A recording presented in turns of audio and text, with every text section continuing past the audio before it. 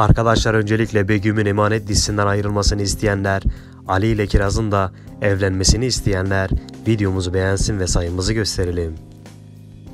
Peki arkadaşlar Begüm'le beraber Emanet dizisinden başka kimlerin ayrılmasını istersiniz?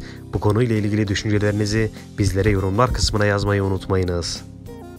Çok güzel bölümleriyle devam eden, ekranların en güzel dizilerinden biri olmaya başlayan Emanet dizisi yeni bölümlerde neler yaşanacak? Yeni bölümlerde Yaman ile Seher'in arasının iyice açıldığını gören Zühal'in yeni planı ne olacak? Yaman ise arkadaşlar yeni bölümlerde yaşadığı tüm kötü günleri Seher'e anlatacak mı?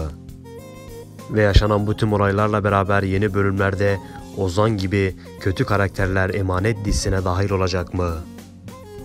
Ve arkadaşlar bu tüm soruların cevabı için Emanet dizisiyle ilgili en önemli detaylar, yeni gelişmeler için videomuzu sonuna kadar izlemeyi ve kanalımıza abone olmayı unutmayınız. Ve arkadaşlar siz de artık Yaman'ın iyi biri olmasını istiyorsanız ve Seher ile evlenmesini istiyorsanız videomuzu yine beğenin ve yine sayımızı gösterelim. Ve çok güzel bölümleriyle devam eden ekranların en güzel dizilerinden biri olmaya başlayan Emanet dizisi yeni bölümlerde Yaman ile Seher'in arasının açılmasıyla beraber İkbal ile Zuhal yine devreye girecek ve ortalığı çok karıştıracaklar arkadaşlar.